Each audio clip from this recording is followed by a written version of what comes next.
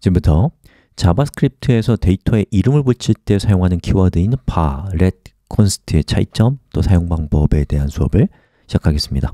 자, 이 수업은 자바스크립트 execute context 수업에 의존하고 있습니다. 저 개념이 무엇인지 모르신다면 먼저 보시고 참여하실 것을 권해드립니다.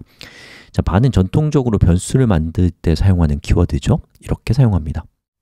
자바스크립트의 역사와 함께 했던 아주 유구한 문법이에요. 자, 크롬 브라우저 기준으로 2016년 버전부터 이 새로운 문법이 탑재되기 시작하거든요. 바로 let과 const입니다. 알아야 될 게 많아졌죠. 자, 결과적으로 말한다면 2022년인 현 시점에서는 예, 바보다는 let을 쓰시는 것을 권해드리고 싶어요.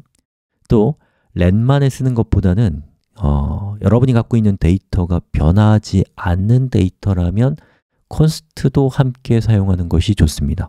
왜 그런지 지금부터 execute context의 관점에서 디버거를 도구로 살펴보겠습니다.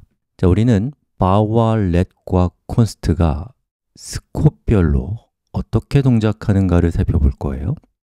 그리고 재선언, 재활당은 각각 어떻게 동작하는가를 하나하나 따져보는 시간이에요. 자, 저는 파일을 하나 만들었고요. 저 파일에 자바스크립트 코드를 실행시키면서 수업을 진행을 해보도록 하겠습니다. 자, 여기에 제가 이렇게 값을 한번 입력해 볼게요. 20, 100, 1000만 곱하기 0.1은 하면 실행하면 1000이 되겠지만 여기 있는 만이라고 하는 값과 0.1이라는 값은 어떤 의도인지 알 수가 없다. 자, 이때 사용할 수 있는 환상적인 도구가 바로 저 데이터에 이름을 붙이는 거죠. 이를테면 천이, 만이 뭐다? 가격이다. 자, 그리고 0.1은 뭐다? 부가가치세율이다. 그리고 가격 곱하기 부가가치세율을 하면 그 결과는 뭐겠어요? 부가가치 세의 가격이겠죠. 자, 그럼 이것을 이렇게 하게 되면 이전과 똑같이 동작하지만 우리의 코드는 훨씬 더 이해할 수 있는 이해하기 좋은 코드가 되었습니다. 자, 이렇게 변수를 사용할 때 음, 여러분이 판단을 하셔야 되는 거예요. 이 이름은 값이 바뀔 수 있다, 없다. 이를테면 가격은 바뀔 가능성이 있죠. 다른 가격을 입력할 수 있겠죠. 자, 그럴 때는 less 쓰시면 되는 거예요, 결과적으로. 자, 그런데 이 부가가치 세율의 경우에는 이 대한민국의 부가가치세가 도입된 이후에 단 한 번도 0.1 또는 퍼센트로 하면 10%라는 값이 바뀐 적이 없거든요. 예, 그러면 이제 여러분이 판단을 해서 이 값은 바뀔 리가 없다. 바뀌어서도 안 된다. 실수로라도 바꾸면 안 된다. 라고 할 때는 이 앞에다가 const를 붙여줍니다. 자, const는 constant, 즉 상수의 줄임말인데요. 자, 이렇게 부가가치세율을 상수로 선언하면 누군가가 실수로 부가가치세율의 값을 0.2로 바꿨다. 그리고 실행해 보면 보시는 것처럼 이런 식의 에러가 발생합니다. 예, 바꿀 수 없게 해놨는데 바꾸려고 하니까 우리한테 경고를 주는 거예요. 그럼 우리는 우리의 프로그램이 고장나는 것을 방지할 수 있다. 자, 그리고 이 부가가치세의 결과는 바뀌겠죠? 이 가격이 바뀔 가능성이 있으니까 자, 그럴 때는 less 쓰시라는 겁니다. 자, 이것이 바로 렉과 콘스트의 차이고 이 차이를 잘 활용하신다면 여러분의 프로그램을 훨씬 더 유연하면서도 견고하게 만들 수가 있는 것이죠. 자, 이름의 값이 바뀔 수 있다면 less 쓰고 이름의 값이 바뀌면 안 된다면 const를 쓴다. 라는 것 외에는 let과 const가 동작하는 양상은 거의 비슷하기 때문에 저는 지금부터는 const 얘기는 하지 않고 이 let과 전통적인 변수 선언 방법인 bar의 차이점을 통해서 let과 const가 어떤 점에서 좋아졌는가 왜 이런 것들을 권장하는가를 지금부터 살펴볼 겁니다. 자, 예제가 좀 길어서 제가 미리 준비를 좀 해놨는데요. 자, 이 주소를 치고 들어오셔서 여기 있는 두 번째 예제를 카피해서 실행시켜서 저랑 같이 수업을 진행하시면 되겠습니다. 자, 저는 개발자 도구를 켜고요. 이 개발자 도구에서 우리가 만든 예제를 디버거로 한 줄 한 줄 실행을 시켜볼게요. 세 번째 줄에서 브레이크 포인트를 걸었고요. 자, 리로드하면 실행이 여기서 멈추게 되죠. 자, 제가 v0 앞에 bar에 붙였거든요. 그러면 저 v0라고 하는 변수는 scope에 어디에 저장될까요? 자, context execute 수업을 보셨다면 아시겠지만 한 줄 실행시켜 보면 글로벌 안에 들어가게 됩니다. 클릭해 볼게요. 자, 보시는 것처럼 v0는 global 안에 들어가죠. 자, 그리고 네 번째 줄을 한번 실행시켜 보겠습니다. 자, 실행을 하면 어디에 L0가 만들어질까요? 자, 보시는 것처럼 L0의 값은 스크립트라고 하는 scope 안으로 들어갑니다 자, 이때에 우리가 다섯 번째 줄을 실행하면 L, V0와 L0는 뭐가 될까요? 자, 실행해 보면 보시는 것처럼 잘 조회가 돼서 출력이 되는 걸 볼 수가 있죠 자, 이때 v0는 어떻게 찾아지느냐 자바스크립트는 일단 scope의 위쪽에 있는 스크립트를 먼저 뒤져보는데 v0가 없죠? 그 다음에 global을 뒤져보면 아까 보신 것처럼 v0가 있었잖아요. 그러니까 출력이 된 거예요. 자, 그리고 L0의 경우에는 let으로 선언했거든요. 그러면 어디에 만들어져요? 여기 만들어졌어요. 자바스크립트는 스크립트 scope를 먼저 보니까 여기에 있어요. 그럼 얘를 화면에 출력한 것입니다. 자, 그럼 왜 스크립트라고 하는 scope을 추가적으로 만들었을까? 뭐 저도 뭘 보고 얘기하는 건 아닌데 제 추론은 그렇습니다. 자, 일단 글로벌이라고 하는 이 영역은 너무 바빠요. 5만 가지 함수와 변수가 빌트인으로 들어가 있단 말이죠. 자, 우리가 var을 글로벌 execute context에서 선언하면 이렇게 글로벌 안에 우리가 만든 것까지 들어가 버리는데 그러다 보면 실수로 글로벌에 있는 빌트인을 건들 수가 있고 또 우리가 필요한 어떤 값을 찾을 때도 쉽지가 않단 말이죠. 자, 그래서 새로운 문법인 let과 const를 도입하면서 let과 const로 만든 그 값이 예, global execute context에서 실행됐다면 그 값을 스크립트 scope에 보관하는 걸 통해서 built-in과 충돌나는 걸 방지하기 위한 것이 아니었을까 라는 생각이 듭니다. 자, 이번에는 fn1이라는 함수 안으로 한번 들어가 보겠습니다. 자, 들어갔어요. 자, 그럼 v0가 뭐다? 라고 이렇게 나와 있잖아요. 근데 앞에 키워드가 아무것도 없죠. 자, 그러면 자바스크립트가 어떻게 동작하느냐? 자, 일단 v0의 값을 자바스크립트는 local에서 찾아봐요. local에 있어요? 없어요? 없죠. 스크립트에서 찾아봐요. 없죠? 그럼 global에서 찾아봅니다 그럼 global의 v0는 v0죠 자, 제가 실행을 시키면 저 global의 값이 바뀌게 되는 거예요 이렇게요 자, 그 다음에 L0 앞에도 아무런 키워드가 없단 말이에요 자, 그리고 실행을 시키면 어떻게 될까요? 자바스크립트는 local에 있는지 없는지 확인해요? 없죠? 스크립트에 있는지 확인해 봐요? 있죠? 그럼 이 값을 바꿀 겁니다 실행해 볼게요 짠, 이렇게 되는 거죠 자, 그렇게 해서 실행을 시키면 보시는 것처럼 이런 결과가 출력되는 것이죠. 자, 그럼 우리가 여기서 한 줄 더 실행시키면 함수 바깥으로 들어오죠. 자, 그리고 그것은 call stack으로 봤을 때는 global execute context 안에서 우리가 실행이 되는 거고 global execute context의 scope은 현재 이런 상태인 거죠. 자, 여기서 여러분이 v0를 하면 어떻게 저 값이 찾아오겠어요? 스크립트를 뒤져보니까 없죠. 자, global을 뒤져보면 v0가 있으니까 이 값이 나올 겁니다. 자, 그 다음에 l0는 어떻게 될까요? l0는 스크립트에 있으니까 이 값을 출력하니까 우리가 실행한 결과는 이런 결과가 나오겠죠. 자, 이번에는 fn2로 한번 들어가 보겠습니다. 자, 들어갔어요. 자, 우리 보시는 것처럼 v0를 이렇게 선언했는데 이번에는 앞에다 var을 붙였습니다 자, 그리고 실행하면 어떻게 될까요? 자, 실행해 볼게요 자, 보시는 것처럼 앞에 var을 붙였더니 글로벌이 아닌 로컬의 v0의 값이 세팅이 됐습니다 자, 그리고 l0도 한번 실행시켜 볼까요? 자, 보시는 것처럼 l0도 로컬에 세팅이 됐어요 자, 이 상태에서 우리가 콘솔 로그를 하면 어떻게 될까요? 자, v0는 어떻게 찾겠어요?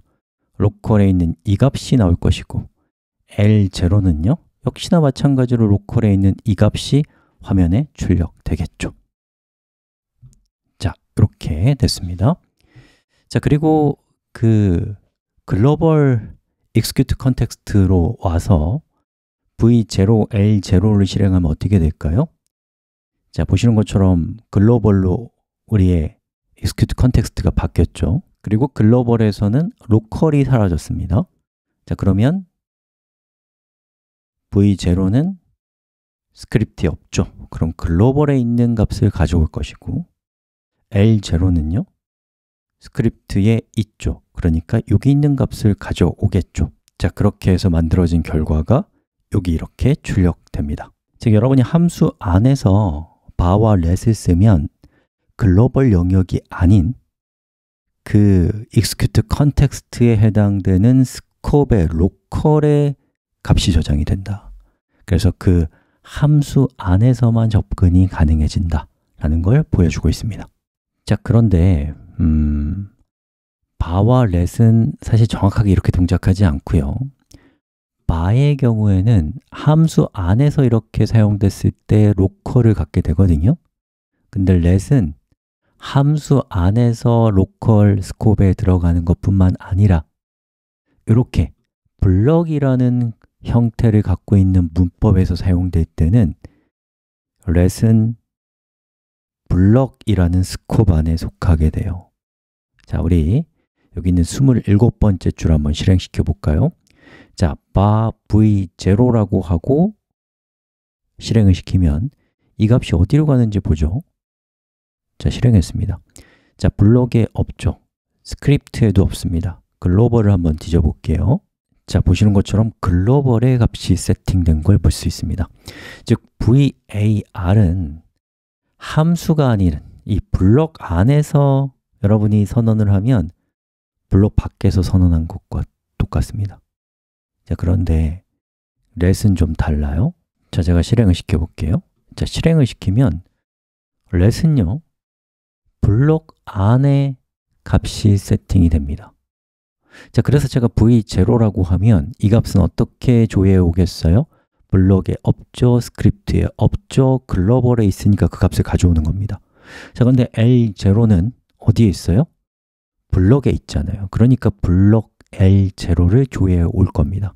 물론 스크립트에도 있고 하지만 이 스크립트까지 가지도 않고 여기서 끝나버린다는 거예요. 자, 우리 한번 예상한 대로 동작하는지 한번 볼까요? 자, 실행해 보면 보시는 것처럼 이런 결과가 나옵니다 자, 그럼 블록 바깥에서 한번 실행하면 어떤 결과가 나올까요? 자, 여기 v0는 어떻게 가져오겠어요? 스크립트에 없죠, 글로벌에 있죠 그러면 글로벌에 있는 블록 v0가 나올 거고요 자, L0는 결과가 어떻게 돼요? fn1-10입니다 자, 여기 보시면 블록 안에 있건 블록 바깥에 있건 간에 call stack은 글로벌 execute context 안에 있어요 예. 자, 그리고 그 상태에서 L0를 조회해 보면 스크립트라고 하는 이 안에 있기 때문에 fn1, 1, 0가 나오는 거죠 실행해 볼까요? 이렇게 됩니다 즉, 정리하면 아주 중요한 차이인데 var은 함수 안에 있을 때 로컬이 돼요.